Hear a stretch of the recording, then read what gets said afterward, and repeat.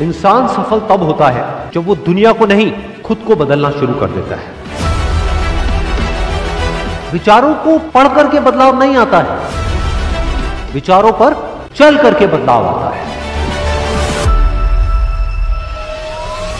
ज़िंदगी में पछतावा करना छोड़ दो। कुछ ऐसा करो कि तुम्हें छोड़ने वाले पछताए।